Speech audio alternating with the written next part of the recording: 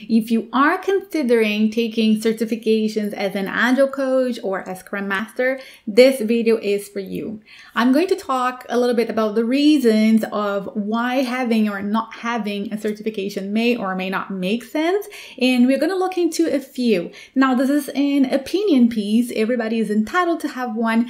I will share here what I think based on my experience as an Agile practitioner and as someone who has had a few experiences with certification. I do have a few that I hold and I do have others that I entirely abandoned. So let's get started.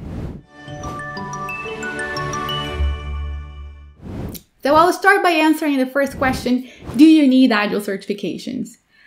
No.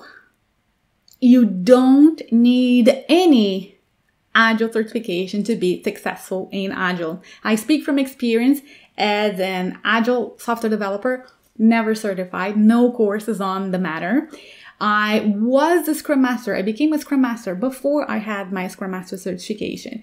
I was an Agile coach, employed as an Agile coach, much before I had my Agile coaching certification. So, yes, you will find jobs, and yes, you can live your life as a beautiful, fantastic practitioner in agility without getting certified. And I don't only speak from my own experience. I speak from the experience I, of the people that I coached and that I mentored, even in organizations. So, you know, you can be so successful without having that very specific badge. Now, of course, there are reasons for you to have them. Like I said, I myself, I took those certifications some I, you know, I clearly abandoned because they made no sense over time, but it's all a matter of experience. So if you want to enter this world of agile certifications, just enter knowing that they are not necessary and they are a choice or something for you to just go and discover. So let's talk quickly about the types of agile certification, especially for agile coaches and scrum masters. I it doesn't exist anywhere a category for these things. This is just my opinion, but I think there are three types. There is the type where you would um, pass an exam. And you know and, and that's great. You pass the exam and then you have the badge. It works a little bit like more technical certification. So if you're a software developer um, you know what we are talking about then there are the uh, certifications that are more like a process. They are either like a process that you apply to where there's a panel that looks, you know, at, at, your body of knowledge and experience. And some that, you know, not, not exactly like that, but maybe they are more courses like a cohort in which you go with a group of people for weeks not just a few days, but four weeks together so that you can practice and come back and, you know, and share the experiences that you're having.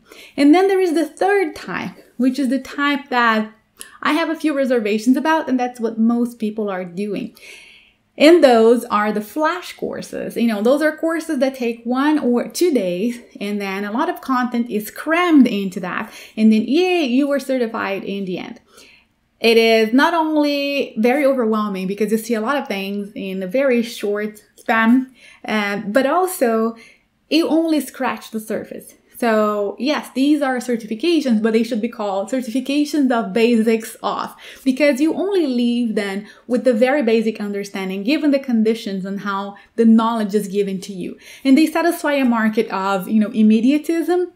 And I know some of us are really desperate to just get that badge and keep going on, but quite honestly, you can't skip practice in anything in agility. So yes, you can do those certifications. Just know that they are not the place where you go to really train your knowledge. They are the place where you go and you get the badge. And since we are talking about just go and getting your badge, let me then address then a third point, which is not all institutions are created equal. And, you know, they're, they're, their organizations, you'd be surprising, like, what do you know IBM for? I know IBM, uh, you know, for computers and uh, hardware and some types of software. I definitely don't know IBM as a company that's highly invested in agility, a company that's really helping advance the state of agility in the world. But they do offer agile training. Now I don't I don't mean any disrespect, but I wouldn't necessarily choose, for example, IBM as my choice of a trainer. And then on a similar vein, I wouldn't choose uh, you know, certain institutions, like there's one I'm going to mention. Um, it's called uh, Scrum study, and they are known for other stuff, but they're also known by giving Scrum Master training. And quite honestly, I looked at their material and I would say, wow, some of the things I, I see here, they might have been true. Some of that in Scrum back in 2012 and earlier. But Scrum has evolved since. So their materials didn't evolve. When you go to a training that doesn't reflect what the state of agility today is. So that's what I mean by, you know, research your organizations. And I'm going to mention a few here and just know that this is a a preference based on my knowledge and how I go about the Agile community. And hopefully that's useful.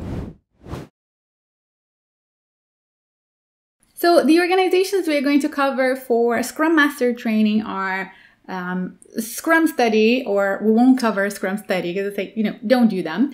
And we're going to cover Agile Alliance, Scrum Alliance, um, scrum.org, and let's see what we find in there. So Scrum Alliance and Agile Alliance were actually founded by one of the founders of Scrum, Ken Schwaber. And, and they are really well respected institutions in the world of Agile, having great Agile gatherings. A lot of people in there are super knowledgeable in the community. Now, they do offer a lot of that model that I told you I dislike, which is you go to a training, it's usually a one or two day training, packed of things and then you leave certified. And then every two years you pay to recertify or some different model like that. So you know you get your badge quickly. I'm not so sure how effective that is. And i say that because i used to have a few of those certifications. And um, you know even though they are very respectable as organizations i do not recommend that you do that to yourself like I said, you only scratch the surface in the topics in those types of courses, and the courses are not cheap. So, if money really isn't the problem, I say, yeah, just go and learn. But there are other ways to learn, especially on the more basic courses, um, to learn that thing. But then the problem is that if you don't do their basic courses, you can't do their advanced courses because they work like a little stepping stone. So that's really my issue with those organizations. And that is why Ken Schwaber left those organizations to found scrum.org. So I will say this quite honestly. If you are going to, to, to do the path of I want to become a scrum master and a certified one, I would say go to scrum.org. That is my personal preference. That is what I find the most amazing trainers as far as Scrum goes. And when you look at the Agile community in general, the contributions of the people that come from um, Scrum.org is so respectable. And yes, they do work as well on a ladder theme, as in, you know, you can be very basics and then intermediate and in advanced. But let me explain how this works.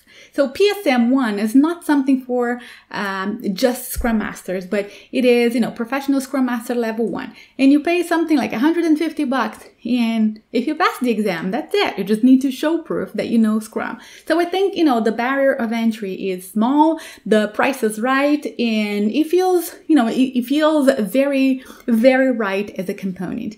And then as you advance for PSM 2 and 3, things get more interesting obviously is not as cheap so that everybody can claim it, but is also not just an exam. It becomes a process. So when you're trying to be a PSM3, which is the highest level of a Scrum Master, in which, you know, after that, if you want, you could apply to become a trainer, in order for you to get there, you really had to pass a panel of appreciation of your work and of your knowledge. So you really didn't just go at it alone. You had mentors with you. It was not a, you know, apply today and tomorrow you wake up certified. So it's super respectable and the process will help you learn not only just about agility and scrum and scrum mastering, but also about yourself.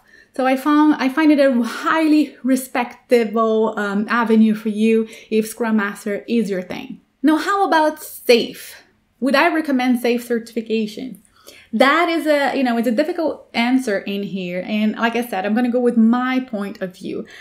I don't think SAFe is a great model for agility. It's a very constrained, hierarchical, and complex uh, framework. So they use complexity to attack complexity, which is not the best way to go about it. I don't think that, you know, I can show you here what is the simplest implementation of SAFe, and you tell me if you find that this is simple. So, um, you know, and they also work in this model that you go in for a training of one, two, sometimes even three days, and then you're certified in the end, and then you pay to keep your certification. So I already don't like the model, but also I don't like the framework. Now, will I say there's a lot of company there adopting SAFe and hiring for SAFe? Absolutely. So if you're asking about should I go on a safe career and have a job, by all means go and do that. But if you're asking me what it's like to become an agile coach or a scrum master, I will never recommend that you go to, you know, to SAFe uh, training of any kind. Now, let's talk about Agile coaching certification. As you know, I am an Agile coach and I am a certified one, so I definitely have an opinion on that. And I think one of the things that is different when you compare it with Scrum is that there are not that many um, bodies regulating agile coaching as a you know as a framework because it's a framework that was kind of like given to the community and then the community kind of evolves it and that, that's the easy nicest thing about agile coaching because if by any chance any organization decides to give training on that you're going to find very similar um, understanding of what the the different stances and skills of agile coachings are like basically any training that you pick, my, you know, chances are they will cover the same good stuff. Now there are two only that I recommend if you really want to become certified. And those will be IC Agile or um, Scrum Alliance. Let's look at each. So IC Agile basically the people who created who first uh, invented if you will the framework they are part of ic agile and they help advance many uh, many of the elements of the agile coaching certification in there. So that was the first thing that really draw me to the the organization. There are things i dislike um, just like the scrum.org and many of the places that you have so many certifications to choose from that you can feel lost. But if you're an aspiring agile coach ICP ACC is the one which is an accredited level of Agile coaching, which is a beginner Agile coach, if you will. You can graduate and go to other levels, but I'm not so sure, you know, once you're an established coach, you really don't care that much about the certifications, in my opinion. Um, another thing that I really love about going for, you know, the IC Agile is because I am all about framework neutral agility. I don't want to get stuck and I don't want my clients stuck in, but is this like that in Scrum or should we add some Kanban here? Those are all frameworks that can come in from help for help and we use them whenever needed. And I don't want this to be a sore point on, you know, when I'm helping my clients.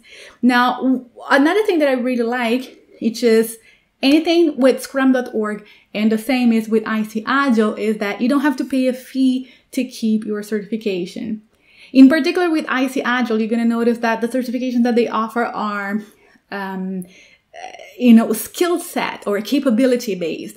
So they talk about a certain level of human skills and, and that's it. You're not going to really degrade, you know, from those skills if you don't, um, if you don't keep paying the certification, you know, you don't become a worse facilitator over time. If anything, you're going to stagnate, but you know, you learn the good stuff. Um, and I really appreciate that all the trainings in there, they can be experiential. Now, they can be. So as an example, I created my Agile coaching program way before I actually accredited with IC Agile. And you can find in IC Agile places where they're going to give you a three day course to become an Agile coach.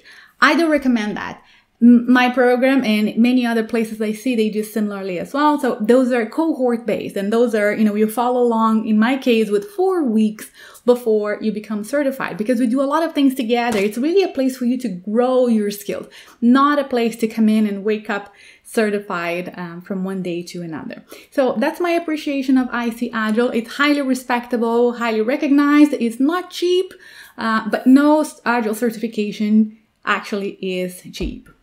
So then there's Scrum Alliance. I find interesting uh, that a place that is so committed to the state of Scrum certifies people on something that is very framework neutral because Agile coaching is framework neutral.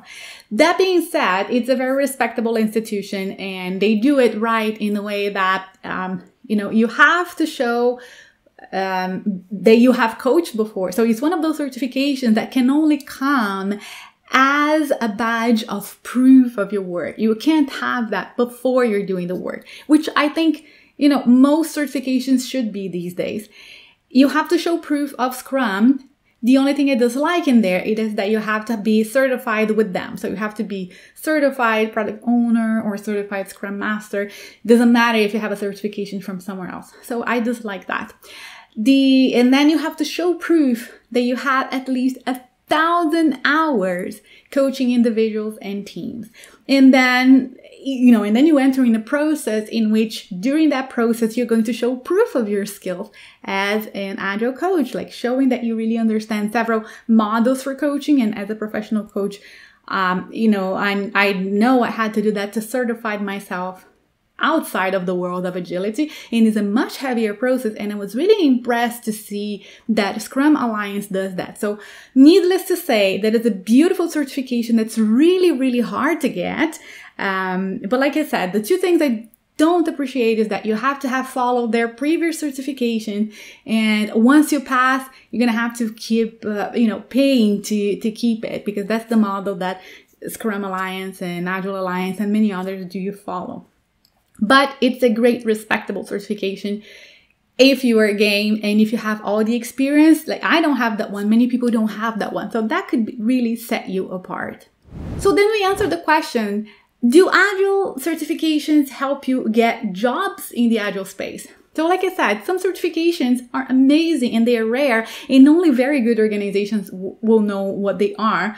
But, you know, the others, they are so common also that everybody else has them. So, I find it really hard to say that for sure an agile certification either as a scrum master or as an agile coach will open the doors they they might but they will you know not one more than the other so i would you know i would also mention that having been uh, an employee in other organizations interviewing future team members i couldn't care less about the certification and i know other people that work just like me and we were not looking at the certification and we're relying heavily on how the person explained their experience or in the event that they didn't have the experience let's have that chat and in the interview we feel you know, the passion and the vibe of the person, and that's how we hired. So maybe you get more jobs in any generic place if you do have an Agile certification, but to actually work in Agile in great places, let me tell you, you don't need all those certifications, if any, I would say. And ultimately, I want to say two things. One, and I know the video is getting long, but, but hear me out. The first is that um, success will come with experience. And I know people just keep accumulating badges as if that could show a lot of things, but it doesn't show anything other than, okay, you're a great student, you love to study. And I do so too, but you know, books are cheaper. No joke. Many certifications, they're so expensive that when you really see how many thousands of dollars you're you know, it's an expense. If you have all that money, that's great, but you don't need to spend all that money. And that is not going to shortcut the experience and the practice that you really need in the field. I always tell my students, you know, it doesn't feel the same. We create safe spaces for things to be practiced, even in a cohort based program, but nothing will really beat your experience. So don't let the certification be the do all end all of things. The second thing is that not all knowledge is certifiable. And I think this really is important because we keep thinking as if Scrum, Agile coaching, Kanban, those like the three things that you can you can think or do currently in the space. But quite honestly, uh, you know, non-violent communication is a very particular um, domain for you to study and learn. Uh, you know, they will give you a lot of results in your communication with others.